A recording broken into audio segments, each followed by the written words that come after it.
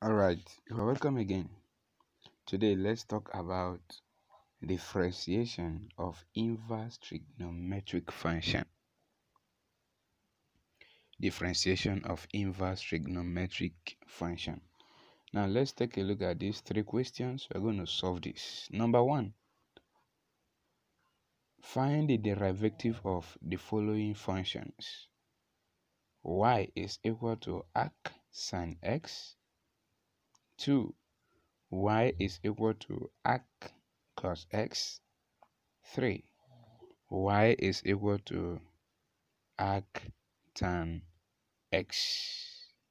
Yes you are asked to find the derivative of the following functions. Y is equal to arc sine x. Y is equal to arc cos x. Y is equal to arc tan x. All right yes. Now let's go. Starting with the first question y is equal to arc sine x. Now pay attention please. You know, when we talk about arc sine x, what is it talking about? That is inverse. So we can write this arc sine as 1 all over sine. Then we have x, right? Yes, that means we can say that what we have is y is equal to 1 all over sine x. Because 1 all over sine is actually an inverse or sine. You get it right? Good. From this place, what if we decide to multiply both sides by sine? What if we decide to multiply both sides by sine? So what are we going to have? We're going to have in the left hand side sine y is equal to in the right hand side we have sine multiply by 1 all over sine x. You know, here sine will cancel sine, right? Yes. So we are going to be left with sine y is equal to x. You know, we multiply both sides by sine. So thereby we are having sine y is equal to x. So what if we say sine squared y? What are we going to have also? You know, from what we have here, we say sine y is equal to x. If we say sine square y, sine square y is going to give us x squared. We take the square of both sides, right? Good. Now let's go. The function we have is sine y is equal to x. Now let's differentiate these with respect to x. So if we differentiate sine y, what are we going to have? You know, normally, if we are to differentiate sine x, you know sine x is going to give us cos x right? But this place now we are differentiating sine y with respect to x. That means we are going to have cos y dy all over dx. Hello? You know when you are differentiating y y is going to give you what? dy all over dx. But in this form we are having sine y. So when when you differentiate sine, it's going to give you cos, right? Then y is going to give you dy all over dx, right? So the derivative of sine y is going to give you cos y dy all over dx. And then the derivative of x is going to give you 1, all right? Yes. Now, from this place, we want to make dy dx the subject. So that means we are going to multiply or we're going to divide both sides by cos y so that dy all over dx will stand alone. So that dy all over dx will stand alone. So if we divide both sides by cos y we are going to have dy all over dx is equal to 1 all over cos y. Is that true? Yes. Now you remember one of our formulas, we say sine squared y plus cos squared y is equal to 1. Is that true? Yes. Now, what if we try to make cos squared y the subject? We're going to say that cos squared y is equal to 1 minus sine squared y. What if we say cos y, not cos squared y?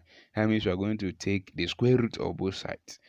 We're going to have cos y is equal to square root of 1 minus sine squared y. And then in our function here, we say that dy all over dx is equal to 1 all over cos y. So here we can replace cos y with the value we're having. And then the value is square root of 1 minus sine square y. So if we replace it, we're going to say that dy all over dx is equal to 1 all over square root of 1 minus sine squared y. You get it right? Yes. But you discover that from the beginning, we say something. We say let, you said that sine square y is the same thing as what? x squared, right? Yes. In this place, we can replace sine square y with the value x squared, right? Yes. If we replace it, we're going to have dy all over dx is equal to 1 all over square root of 1 minus x squared. Is that true? Yes. So finally, the derivative of arc sine x is 1 all over square root of 1 minus x squared. You can check it in the derivative table. It is the same. Okay. Now let's go. Number two, we have y is equal to arc cos x. Please, I want you to follow the same method as what we just did in arc sine x. You are going to get your final answer. Okay, now let's take number three. Number three say y is equal to arc tan x. You get it? So you know this arc tan x is the same thing as saying 1 all over tan x. y is equal to 1 all over tan x.